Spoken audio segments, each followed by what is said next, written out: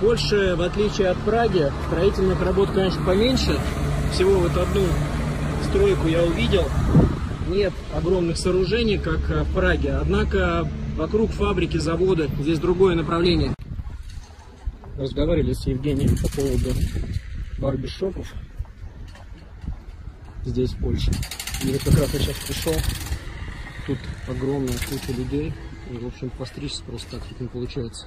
Друзья, всем привет! Сегодня я иду в Ужонт, это администрация здесь, в Польше. Там находится мэр, туда подаются документы, когда вы получаете воеводское приглашение, с которой приедете сюда работать в Польшу. Сейчас зайдем вовнутрь, посмотрим, как там обстановка, чем администрация здесь в Польше отличается от администрации в России и в Америке. Итак, вперед! Я в Ужонте, это администрация города. Как раз здесь дают людям воеводские приглашения. Так все это выглядит. Здесь разные отделы. Очень, кстати, похоже на нашу российскую администрацию. Куча отделов.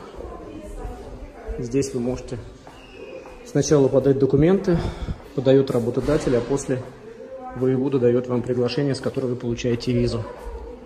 Так все это выглядит. Ну, документы подали. Администрация, в принципе, ничем не отличается от российской. Также кабинеты, информационные стенды, запись на встречу с мэром, также в отделы, где вы сможете спокойно подать необходимые документы. Так, друзья, всем удачи, привет из Польши, приезжайте, работайте, получайте второй паспорт. Всем пока.